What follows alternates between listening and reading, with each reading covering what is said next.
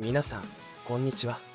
今回は大谷翔平選手の妻田中真美子さんの元彼や結婚式について見ていきましょう。ぜひ最後までご覧ください。まずは田中真美子さんの元彼について詳しく見ていきましょう。現在田中真美子さんの元彼の写真が SNS に出回っています。2016年5月30日に投稿された画像です。なんと田中真美子さんの元彼は日本バレーボールの最高峰 V リーグディビジョン1の VC 長野トライデンツに所属するウィングスパイカー戸崎隆弘選手です。田中真美子さんが19歳の時に交際していたと言われています。2人の馴れ初めは何だったのでしょうか。調べてみましたが田中真美子さんと戸崎隆弘さんの馴れ初めは明らかになっていません。2人の共通点については競技は違うがアスリート同士高身長でお似合い同年代で同じ頃に大学に通っていた。ということが分かります。田中真美子さんは1996年12月11日生まれ。戸崎隆弘さんは1995年6月14日なので田中真美子さんが1歳年下ということになります。兄の田中真一さんの SNS によると田中真美子さんと元彼が交際していたのは大学時代ということが判明しています。田中真美子さんは早稲田大学を卒業しており戸崎隆弘さんは駒沢大学を卒業しました。しかし2人の大学は別で同校が東京都にあることからアスリート同士の合コンや知人の紹介で出会ったのではないでしょうか。田中真美子さんと戸崎隆弘さんの破局理由が気になる方は多いのではないでしょうか。調べてみましたが田中真美子さんと戸崎隆弘さんの破局理由も明らかになっていません。調べてみると戸崎隆弘さんは2021年12月に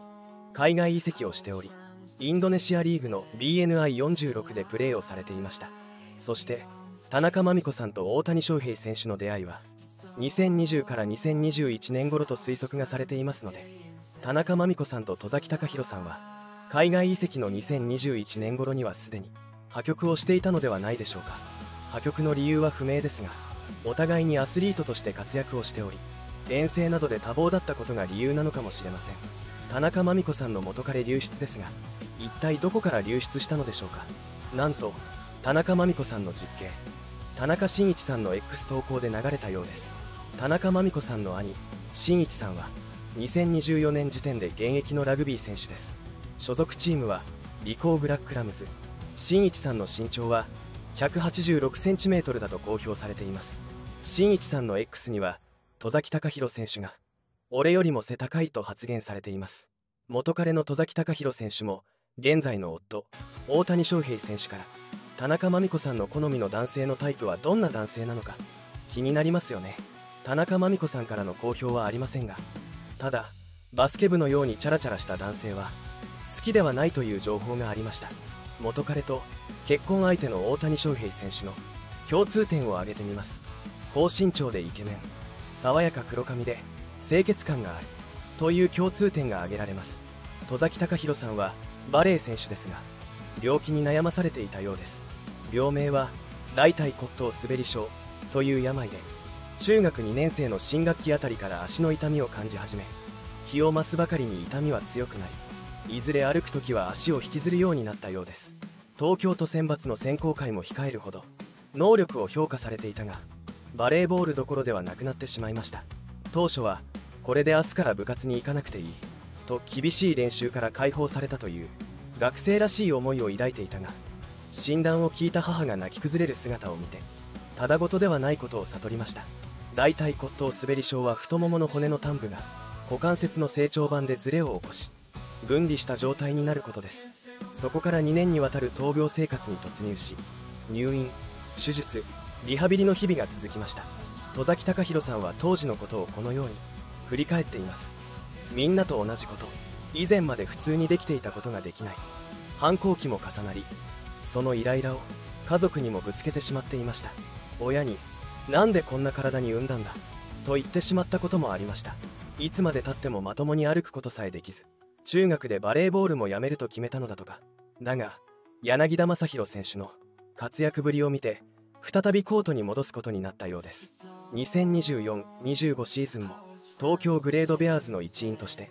活躍しています。戸崎隆弘さんは次のようなコメントをしています。この東京グレートベアーズで目標を叶えるためそして応援してくださる皆様に夢や希望そして笑顔をお届けするために全身全霊をかけてプレーしたいと思います。引き続き熱い応援をよろしくお願いいたします。ちょうど病気から立ち直りコートに立って活躍中だった時期に田中真美子さんと付き合っていたので田中真美子さんに支えられていたのだと思います。それでは最後に大谷夫妻の結婚式の時期について見ていきましょう。大谷夫妻は結婚式はいつ挙げるんでしょうか。またまた結婚式場の場所はどこなんでしょうか。結婚式の予定は次のオフシーズンの2024年11月から2025年1月あたりかと言われています。現役大リーガーが結婚式を挙げるならオフシーズンに限りますが今年はもう3月からオープン戦が始まります。ですが大谷翔平選手のことなのですでに結婚式を終わらせている。可能性があるとも言われています。それでは結婚式の場所について見ていきましょう。大谷夫妻が住んでいる場所はロサンゼルスのドジャーススタジアムの近くですのでロサンゼルスの結婚式場を調べてみました。ウェイフェアーズチャペルラグナビーチガゼボウェディング OC ビーチウェディングどこもロスらしい開放的で素敵な結婚式が挙げられる式場です。ウェイフェアーズチャペルは1949年創立の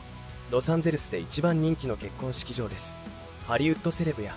日本の芸能人有名人も挙式を行うガラス張りの教会です。生い茂る樹木の向こうに青い空と青い海が広がります。ラグナビーチガゼボウェディングは OC ビーチを見下ろす高台に建てられたガゼボで結婚式です。美しい OC の海岸線やどこまでも続く太平洋を眩しい太陽が照らしてとても美しいです。OC ビーチウェディングは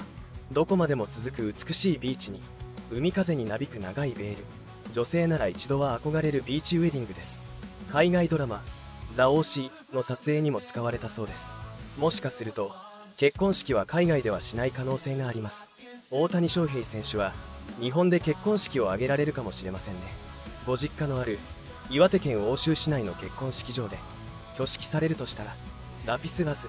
プラザイン水沢が挙げられます。地元なら大谷翔平選手のご親族も集まりやすいですし地元の友人なども集まりやすいので日本を選ぶのかもしれませんね。ラピスラズリーは一軒家を貸し切った結婚式もとても素敵なのですが世界遺産平泉で和装の結婚式もできます。プラザイン水沢は欧州市でホテルウェディングができる結婚式場です。700名収容の大きな会場があるので知り合いの多い大谷夫妻にはぴったりです。木のぬくもりが感じられるチャペルも好評です。どこで式を挙げるにせよ大谷夫妻の結婚式は多くの人々の注目を集めることは間違いありません。2人と愛犬のデコピンでそしてそのうち家族が増えてみんなで支え合って楽しい家庭を築いていくことでしょう。いかがでしたでしょうか？今回は田中真美子さんの元彼や結婚式の時期について。詳しくご紹介していきました。最後まで動画をご視聴していただきありがとうございました。コメントを残してくれると嬉しいです。チャンネル登録高評価もぜひお願いいたします。それではまた。